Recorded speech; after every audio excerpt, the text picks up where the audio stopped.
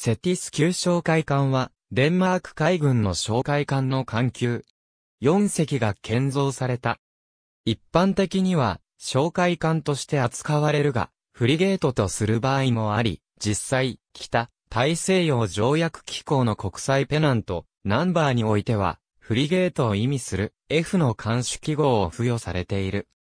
本級は、グリーンランドやフェロー諸島の周辺など、北漂洋において、領海警備、漁業監視、捜索救難、海上治安活動を前提として設計されている。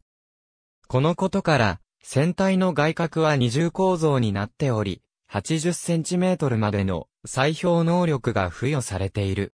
また、氷海において渓流などの甲板作業に支障をきたす恐れがあることから、全甲板はタートルバック構造とされているほか、マスト上のレドーム下方には見張り室が設けられている。艦全体では375トンまでの着氷に耐えられるとされている。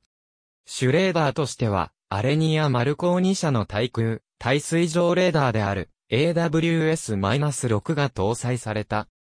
これは C バンドで動作する二次元レーダーで、操作モードでの最大探知距離は 200km、ポップアップ突入してくるミサイルに対しては 20km で探知できるとされているとされていた。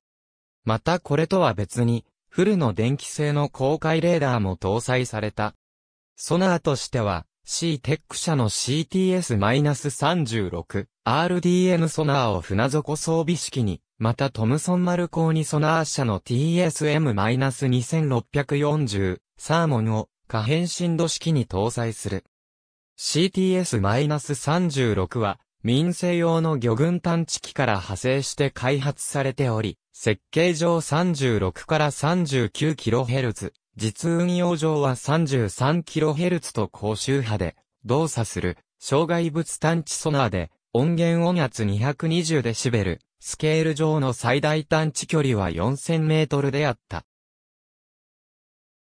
一方、TSM-2640 は、掃除波器を24本のステーブに整列しており、動作周波数は 12kHz と中周波、音源音圧 217dB、最大探知距離は 11km とされていた。本級は、スタンダードフレックスコンセプトを適用されたことで知られており、スタンフレックスシリーズ SF-3000 と呼ばれる設計を採用している。スタンフレックスモジュール用のスロットは全甲板に1つ、中部甲板に2つ設けられている。